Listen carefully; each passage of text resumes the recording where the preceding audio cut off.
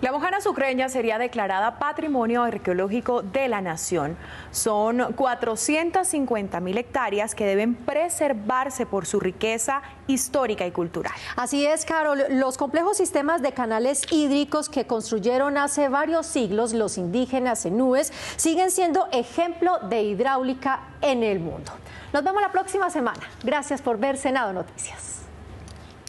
Los departamentos de Sucre y Córdoba están al norte del país.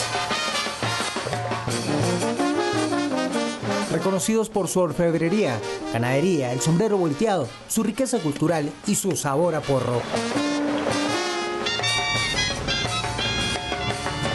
Es en estos departamentos donde vivió una histórica cultura indígena que desde antes de Cristo habitaron estas regiones y se hicieron más famosos en el siglo X después de Cristo, al hoy reconocer su importante trabajo hídrico en la región. Se trata de la cultura zenú, no eran guerreristas, eran orfebres. Hoy su sistema hidráulico es un ejemplo mundial. Desde el punto de vista militar no eran muy avanzados.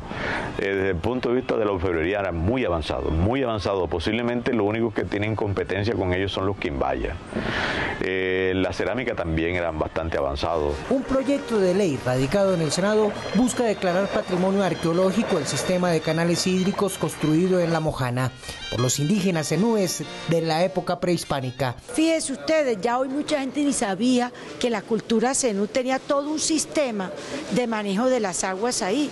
Y, ahora que se está trabajando en unos proyectos para solucionar de manera definitiva el problema de las inundaciones, que en esos proyectos no se desconozca esa riqueza arqueológica que fue de la cultura zenú. La región de la Mojana Sucreña cuenta con 450 mil hectáreas. Está ubicada en la jurisdicción de los departamentos de Sucre. El proyecto ya inició el tránsito legislativo y será debatido en la Comisión Sexta del Senado.